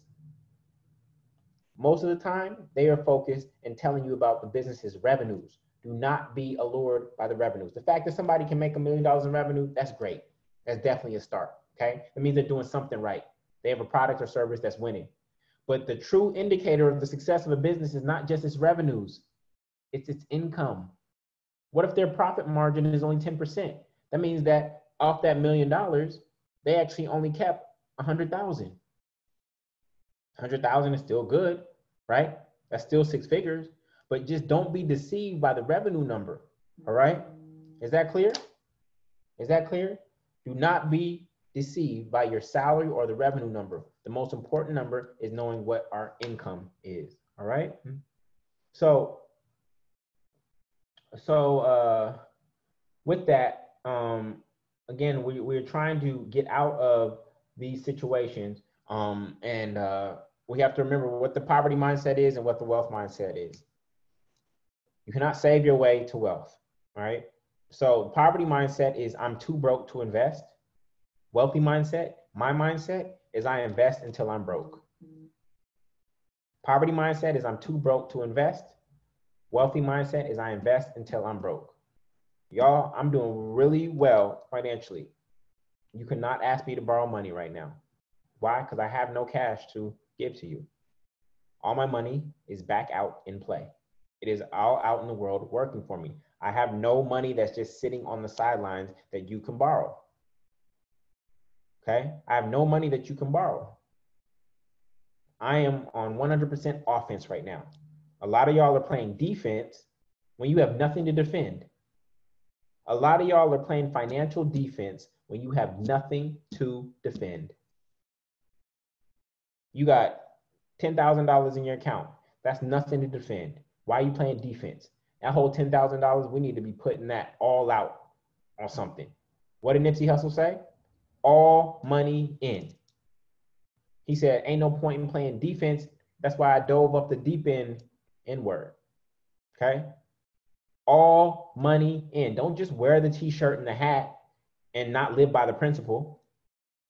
Don't just wear the t-shirt and the hat and not live by the principle. We want all money in. Okay? So that requires faith. It requires being a good steward. It requires doing due diligence. But if you think that saving, you're going to be able to save your way to wealth, you you in for something. All right? So what we have to do is we have to take uh, there's three ways to get money. It's the ACE method. Employer, you can get money from an employer, you can get money from customers, or you can get money from assets. Okay. So getting money from an employer, that's hard work for others. And you get money through 401k, salary 401k, and a pension if you're lucky. Then um, you can get money from, now you can take that money that you're getting from an employer and you can go build a business that then allows people, that allows you to get customers. This is hard working for yourself. So you can get cash from a business that you run directly, or you can be an affiliate or advertiser to help others get customers okay? Or you can take the money from your employer and actually go buy or build assets, okay? These require the littlest work. Initially, they actually require heavy work up front, but then they should be on autopilot after that. So this is an investment property, like multifamily properties that I teach people to buy. Info product, right?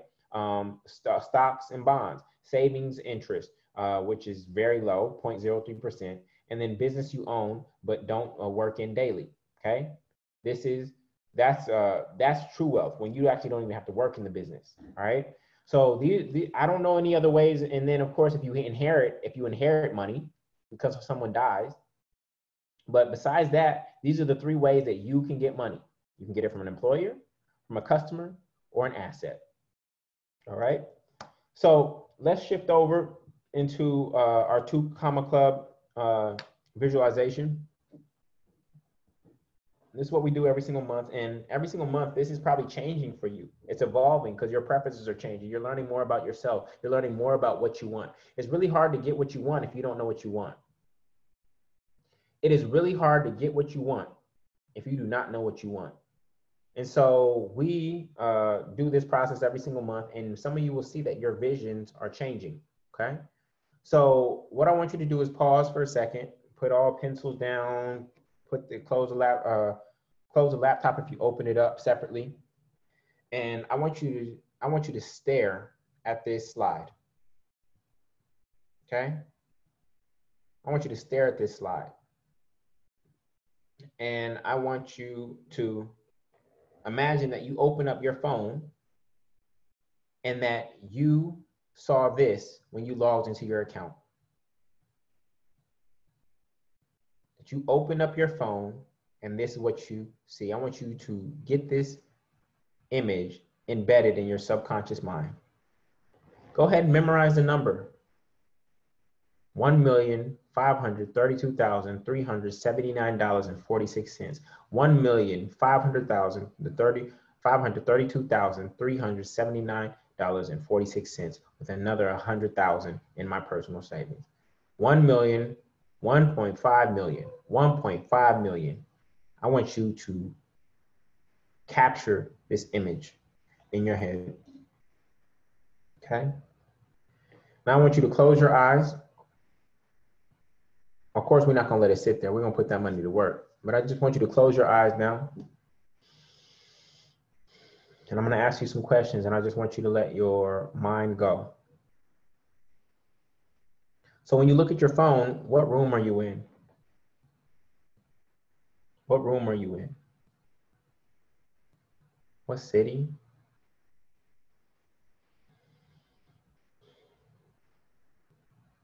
What time of day is it?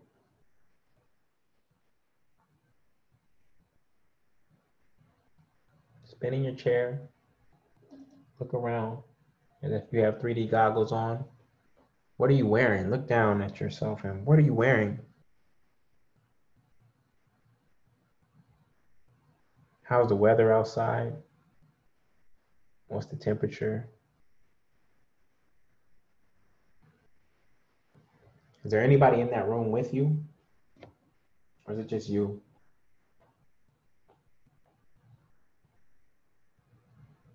What did you eat for breakfast? Have you eaten breakfast? How did you start your day? How do you feel right now? Three words. How do you feel right now?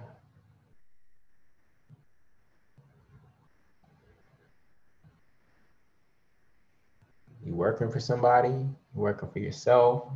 Other people working for you?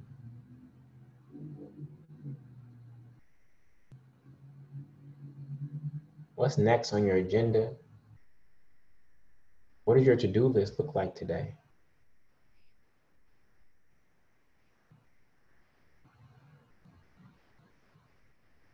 What are your plans this weekend?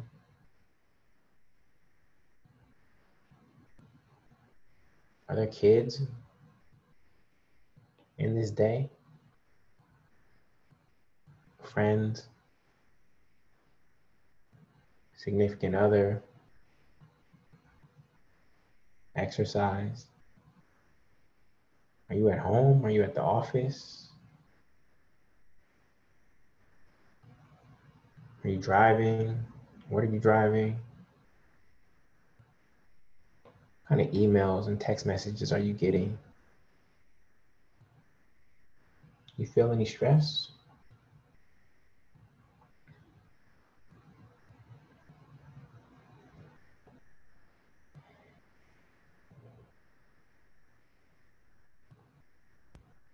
What are your plans this evening?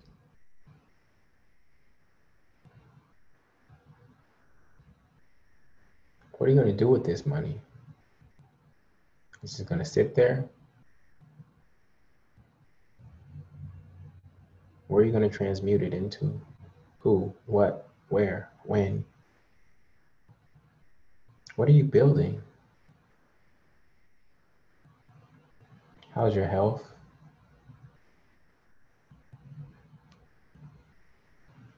Is there green on your plate? Did you exercise?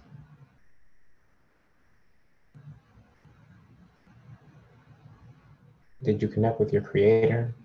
If so, how? Stay right here today.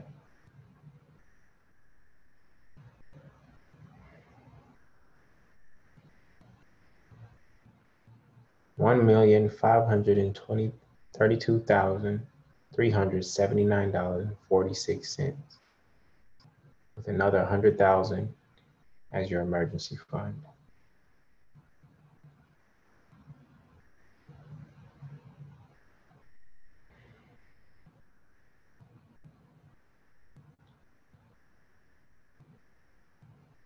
Open your eyes when you're ready.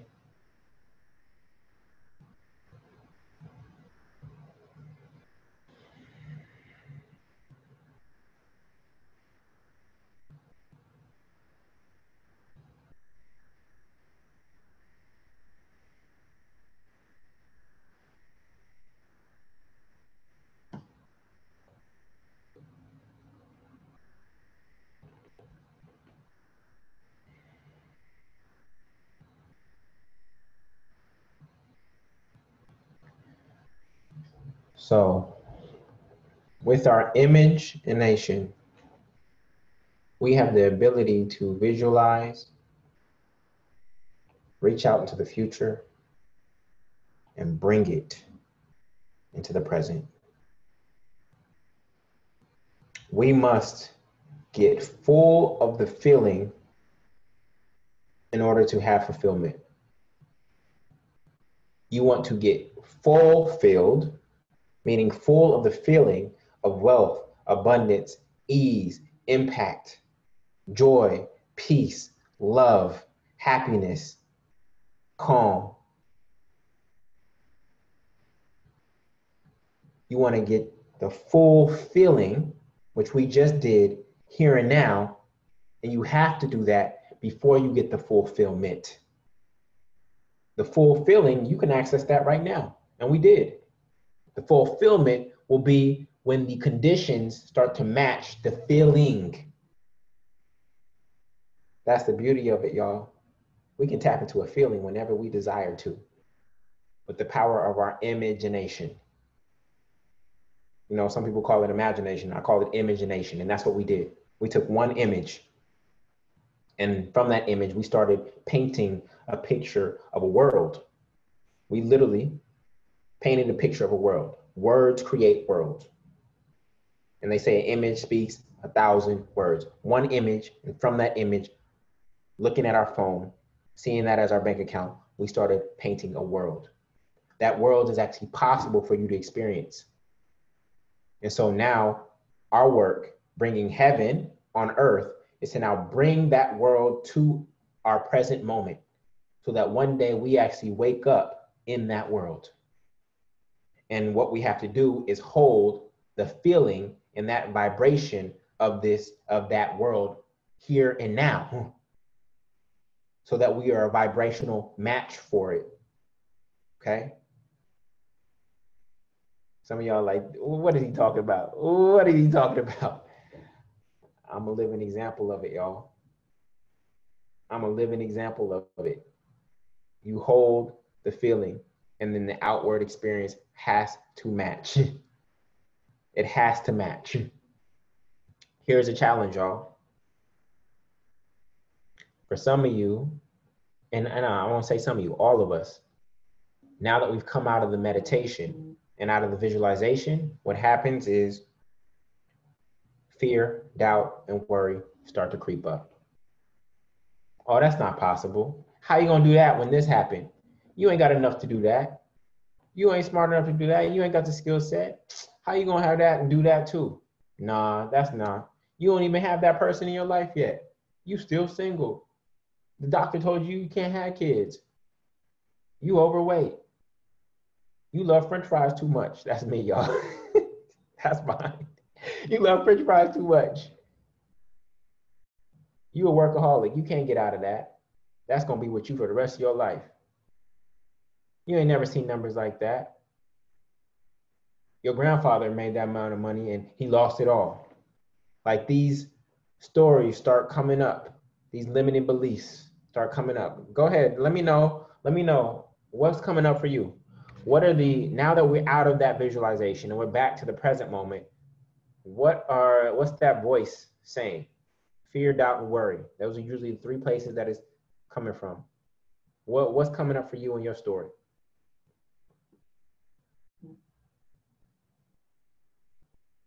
i'm too old good one joe how yep the how question how is not our business no one will support you. Fear failure. How am I going to do that? Stress, fear. Time is not on my side. Okay, so I hear you. So let me address those two the how and the time. Listen to this, y'all. For the how, what does scripture say, y'all? What does scripture say about the how?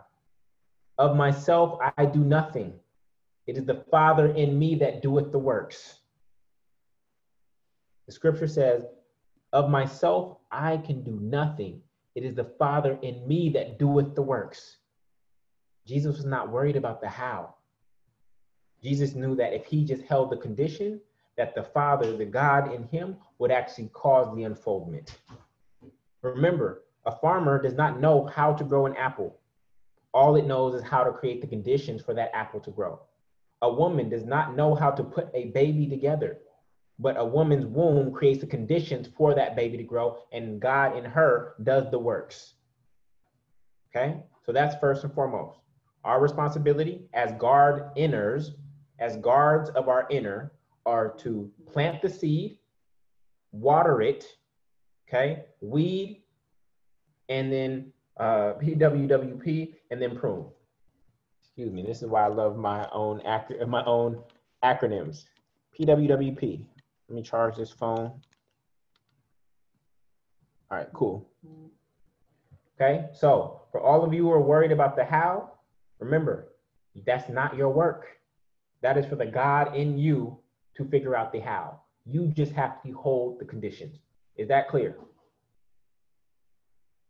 For those of you who are worried about time, what does the Bible say about time, y'all? How fast can it happen? In the twinkling of a, in the twinkling of a what? In the twinkling of an eye, it can happen. It can change just like that. Snap your fingers just like that. That is the power of the God in you. In the twinkling of an eye, it can unfold when you are in alignment. When you are fully out of the way, all your limiting beliefs, your fears, doubt, and worries are out of the way, it can happen in the twinkling of an eye. All right, so watch this. Let me prove it to you. How long does it take to become a millionaire, y'all? How long does it take to become a millionaire? I'll prove it to you. Watch. How long does it take to become a millionaire? Yeah, God does not operate on time. Time is a man made concept. See, nobody has an answer to my question. How long does it take to become a millionaire? Super Scent sold what? What was it? A crayon colored nails or cosmetics or something? One day, millionaire. One day. Now, of course, was there groundwork and conditions that she created prior to that? Yes. One day she become a millionaire. In one day. For some people, it's gonna take 40 years to become a millionaire. Oh, when I retire and I'm 65, I can't wait. And I'll look at my 401k and I'll be a millionaire. And what does scripture say? It is done unto you as you believe. You believe that it's gonna take you 40 years to become a millionaire? It'll take you 40 years to become a millionaire. If you believe that it can happen in a day and you create the right conditions for that to occur, it could happen in a day. Your responsibility is the conditions. There is no timeline to become a millionaire. And again, I only say this, I'm only using these money terms as an example. Okay. This is not the only thing that we manifest. We are not infatuated with money here. Okay. But I'm just saying, as an example, because this is financial church and we're talking about financial spirituality, this, it could be anything. How long does it take to build, uh, find love? That's another one, y'all. How long does it take to find love, y'all? Is there a timeline for it? Is there a timeline to find love? Some people find it love at first sight. Some people never. Some people 10 years. Some people three years. Some people a weekend. In the good one, Michelle, in the right time. There's no timeline for God. God does not operate on time. Time is man made. So for those of you think that the clock is against you, that is a man-made concept, God can operate as long as you have created conditions for such. What was Morgan Freeman started his acting career real late, I believe. I, I believe he started his acting career real late. Okay? So we want to be on divine timing, and we realize that the how is not for us to figure it out. For it's for us to create the conditions and be guards of our inner by planting, watering, weeding, and pruning. Then we let God do the rest. Is that clear? I, am glad that you shared those objections with me because um, I see I, those are honest objections and uh, we had to address those. All right. So uh, with that, we're going to bring heaven down to earth, right? We don't just talk in the sky. Uh, actually, I don't even like to use the sky because then that, that perceives that God is in the sky. No, we don't just talk up here, right? Uh, we bring it down to earth. And our whole work for all of us is to bring heaven, our mental experience, down to earth, which is our material experience. And so, uh, what I want you to do is I want you to pick one of these. Um, in the past, I've had you do four of them. I want you to pick one of these in terms of how you're going to be a better steward of money. You're either going to decrease an expense by doing something specific, by a specific amount, or by doing something specific, or you're going to increase revenues by this amount by doing something specific, or you're going to decrease your liabilities by this amount by doing something specific, or you're going to increase your assets by this amount by doing something specific. I want everybody to choose one and type it in the chat when you're ready. I want everybody to choose one and type it in the chat when you're ready. For those of you on Instagram, it looks like they removed the hour long limit um, on, they removed the hour long limit. So uh, I did not have to restart it, which is good. That's good. But I know a lot of you came over to Zoom anyways. Again, if you want to make sure you don't miss this next week, go to julliengordon.com forward slash TFC, which stands for The Financial Church. So Joe is going to decrease expenses by $500. Joe, I need to know exactly how you're going to do that. Um, Andrea is going to increase assets by building my her multifamily stash. Give me an exact number, Andrea. Larissa is going to decrease expenses by not shopping on Amazon. Good. Um, Amita is going to increase revenues with rents. Good. Um, Anton, increasing my revenue by getting a consulting project. Beautiful. Anton, give me a number. You're going to charge $3,000 for that project or what? Becky, decrease expenses by $200 by uh, cutting her cable and phone. Beautiful. Leslie, increase income by seeking another job. Understood. Leslie, I want you to put a dollar figure on how much you want to increase your income. Uh, Sam, decrease expenses by $100 by getting better car insurance policy. Beautiful, Sam. Very specific. Keisha, increased by 500 by online store. I guess she's selling, Keisha's selling things in her online store. Regina, I need you to be more specific than decrease liabilities. Gwen, increase assets by $5,000 by adding to stock market. Beautiful, Gwen. Um, oh, Joe said not eating out and buying online. La, uh, La Elena said decrease expenses by $500 by paying off her credit card. And Letitia said increase rents by $100 total. So she's going to increase rents on her tenants. She might not have to increase them over a period of time. And now that uh, we're kind of coming out of Corona, I think that's a fair thing to do, especially if they were under market. Good, good, good. All right. So with that, I want to move to our affirmation. Our affirmation, um, and this is our affirmation that we use every uh, fourth Sunday. And uh, I want you to read it with me. Okay, I'm going to start it uh, in three seconds. One, two, three. I am a millionaire. I am already a millionaire in my mind. I may not see it yet, but I believe it now. In the same way a seed is called by its finished form, I'm accepting my divine inheritance as a child of God. I am meant to have life and have it more abundantly. My treasure on earth shall correspond directly to the treasure in the heaven of my mind. Abundance is my birthright. Ashe, Amen, and so it is. We'll read that one more time.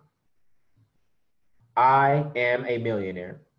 I am already a millionaire in my mind. I may not see it yet, but I believe it now. In the same way a seed is called by its finished form, I'm accepting my divine inheritance as a child of God. I am meant to have life and have it more abundantly. My treasure on earth shall correspond directly to the treasure in the heaven of my mind. Abundance is my birthright. Ashe, Amen, and so it is. So this whole notion of uh, I am already, you realize that when you uh, realize that you already have it, then you are already. When you realize that it's already yours, you are already to receive it. You must realize that it is already yours in order to receive it. Just sit, sit with that for a second. It is already yours. The storehouse is wide open. You are a child of the CEO of Abundant Bank. It is already yours. And once you recognize it is already yours, remember the only thing cutting my daughter off right now is her awareness and her readiness to receive it. That's it. If she was 12 years old and knew how to manage all these properties, I'd happily hand it over to her right here and now. Okay. So as children of God, that is our call right now. All right. So um, we are going to uh, switch into our giving portion. For those of you who are new, uh, we give differently here. This is not for a building fund. As you can see, there's no building. Okay. Um, we actually, I actually think that churches are the uh, most useless piece of real estate in the entire world. They mostly get used on Sundays only. Of course, they have offices in there during the week, but the main sanctuary gets used maybe two days a week, right? Um, so it's a waste of money and time. Uh, waste built these big physical institutions. He would have never built that. Okay. Um, when he was when he mentioned church, that's not what he was talking about. He when he was serving and he's speaking, he was speaking outside um, from the water or on a mountaintop. Okay. He would have never built uh, that kind of temple. He knew that the temple was here. Okay. So um, this is not for a building fund. This is not my, for my foreign car, my private jet. Uh, in fact, I take nothing from this ministry. What I get from this ministry is the opportunity to serve you and to give freely in this way. And that is more than enough for me. I take nothing financially from this ministry whatsoever. Um, here, we believe that giving is a spiritual practice and that giving moves you from scarcity to abundance. That's the only purpose is that it moves you from scarcity to abundance, helping you realize going from I don't have to, actually, I do have something. Okay. Um, this is uh, how we operate here is that we give up to $800 per week to nonprofits doing good or God's work or individuals for needs such as groceries, gas, utilities, childcare, transportation, um, medicine, or, and school supplies, especially school supplies now that the school year is starting. Okay, this is how we operate here. Um, all the money that we receive, we try to give it back out.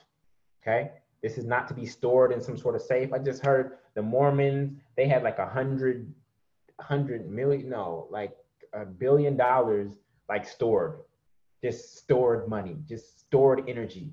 Like just, people just off, man. But uh, I do have some exciting news, y'all.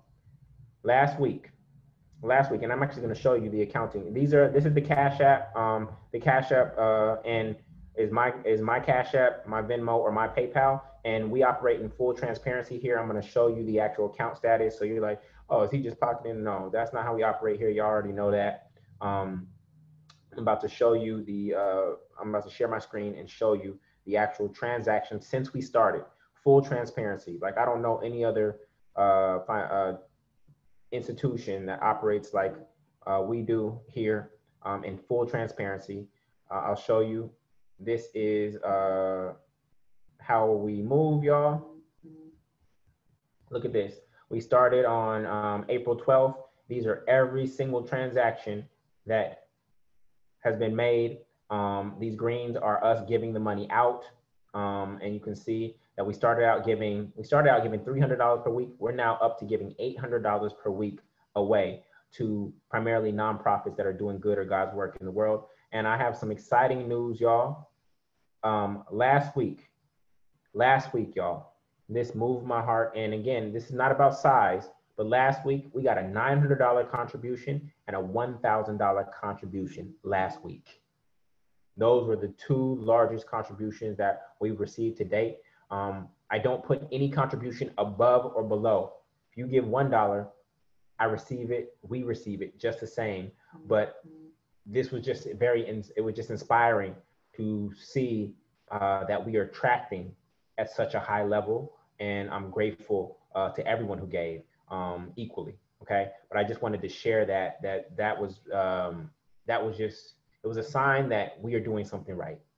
That's all.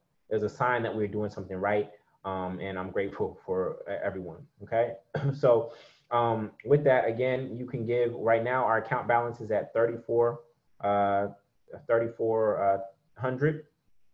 And so this week, we're actually going to give out, since we received so much this week, and remember, we are actually demonstrating the same principles as a collective. We are demonstrating the same principles uh, that we are uh, that we are preaching on. So actually, what we're going to do is we're going to give out, since we received so much this week, we are going to give out $1,500, okay, to six organizations since we received so much in this past week, we're going to give out more. This is how we operate, y'all. We receive more, we give more. We receive more, we give more. It just makes sense. We receive more, we give less. No, it doesn't operate that we don't think like that. So what's today's date? The 30th. You realize y'all that we've had this account since um, April 12th and it is never depleted. Look at this, y'all. This is this account has never depleted. Look at just watch it. Watch it. It went from $100, my first contribution, to up to a thousand, then down to the 900s, then back up to thousands, then 2000s, then we gave down to thousands, then up to 2000s, then we even got as low 2000s, high 2000s, then it went down to uh, back to the 1000s, 2000s, then went down to thousands, back to 2000s. Like we are demonstrating how this law operates. We are the bucket that receives and gives. And as a result of how we're doing this collectively, our bucket is getting bigger. We started out with a little Dixie cup, and now we keep on expanding, and uh, money keeps flowing to us and through us through this particular faith fund. All right.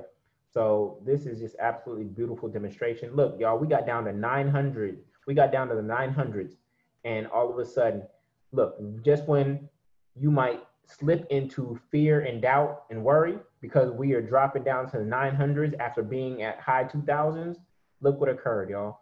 Two of our greatest gifts uh, pushed us back up to 3,000 to the highest point. Like we went down to one of our lowest points in a long time, only to skyrocket back up.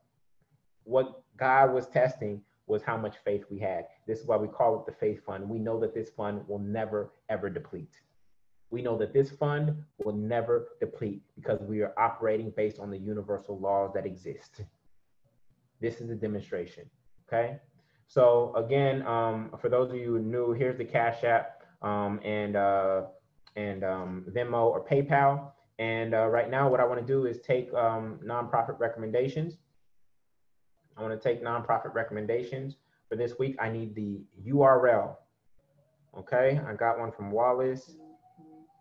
Got one from Wallace. We got one here. All right. I need uh, I need five more recommendations.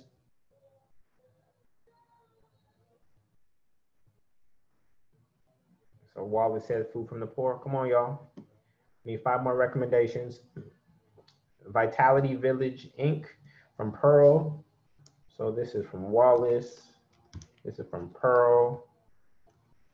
Uh, okay, again, we do not focus on the amount that you give. What we encourage is full participation.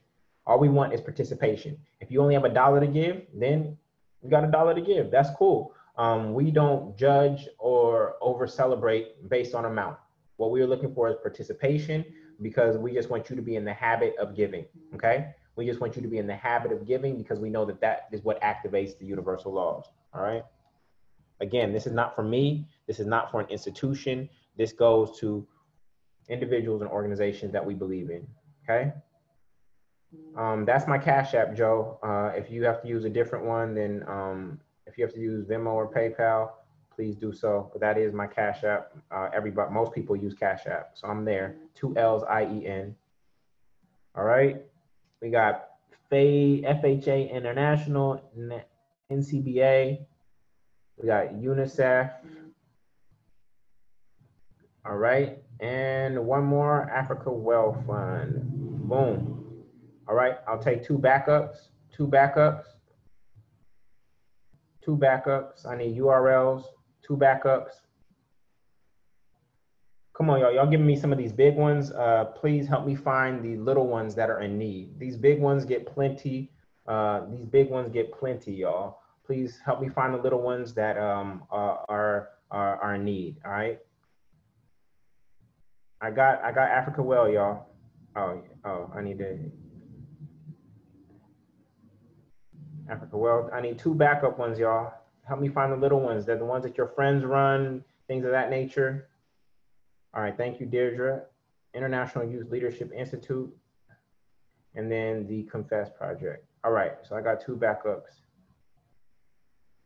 Beautiful. All right. So this money will be sent out uh, by the end of the day tomorrow.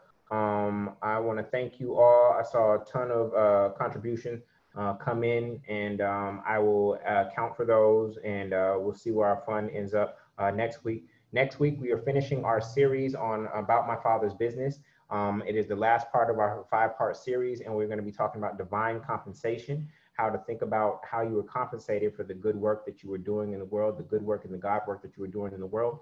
Um, I look forward to teaching that. That will conclude our series on About My Father's Business. So uh, again, for those of you um, who uh, did not get a chance to finish your accounting, I encourage you to do so. That is julliengordon.com, julliengordon.com forward slash accounting. That will give you the spreadsheet. You should do your balance sheet and you should do your income statement for the past month. Um, and you will use that every uh, every closest Sunday to the first of the month. We do that monthly accounting ritual. All right. So with that, I want to say I love y'all. I wish y'all the best. Um, I wish y'all abundance, and uh, I will see you all soon. Those of you multifamily movement, I will talk to you in a couple hours as we get ready for that call, our weekly deal room call. And for everyone else, the replay will be up at thefinancialchurch.com. That'll be at thefinancialchurch.com, likely tomorrow. Thefinancialchurch.com tomorrow. All right. So that's where all the replays are. Um, that'll also take you to my YouTube channel. Uh, again, I appreciate you. Share this message. I'm thinking about uh, I'm thinking about getting ready to start marketing this message a little bit more, y'all. Um, right now, we've just been attracting organically and uh, based on you sharing and you bringing folks and telling folks about it, you finding me on Instagram or YouTube, etc. Uh, I think it's almost time. Uh, I'm feeling for it. I'm talking to God to see if it's time to put the pedal to the metal. I think the world needs this more than ever now that uh, we are in this midst of uh, this external, seemingly external perceived scarcity, while there's a group of people like us who are still holding this wealth consciousness. And uh, I believe that this teaching um, and this way of thinking about money will close the gap for millions and millions of people. So uh, keep praying for me on that, as well as our next series. I don't know what that is yet. Um, so any prayers that you can send my way for clarity, for guidance, for divine direction, I receive that. All right. So with that, wish you all well. I will talk to you next Sunday. Much love, y'all.